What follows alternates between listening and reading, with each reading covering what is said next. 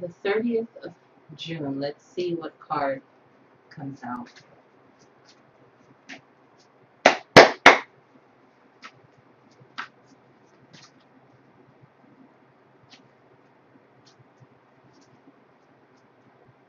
All right.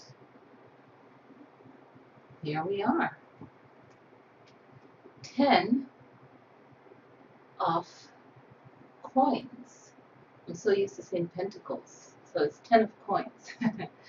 so this is a strong union, a strong union of family. All right. So what I'm getting is a reunion. So if there's someone that's apart from you, you might get a message that they'll be returning sooner. Or if you haven't seen someone in a long time, this is the reunion, a phone call, just something that you have not seen also. It doesn't have to be a person, it could be something, you know, that you haven't seen in a long time and it reappears again.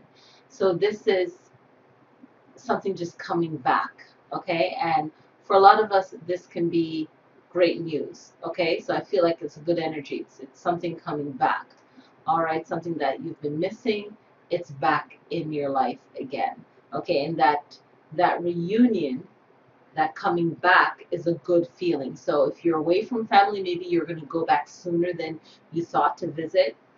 So it's just happening sooner than you thought. Thing it will kind of shift and change things, but it'll still be good. Okay, you'll still have to work through it. This is life.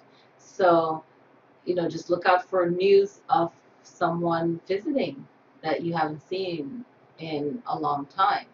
All right, so this is good. It's a reunion. All right, this is the message that I'm getting. And the longingness, the loneliness, the missing of this uh, particular person, it will, this reunion will just kind of mend things or just set it right in some sense. All right, and for the rest of us, it'll just be once again reunited. All right, I hope that this helps and um, just enjoy the reunion. Don't make uh, don't uh, overdo anything. Just enjoy the process. Let things just happen um, naturally, and just you know go with that um, the moment.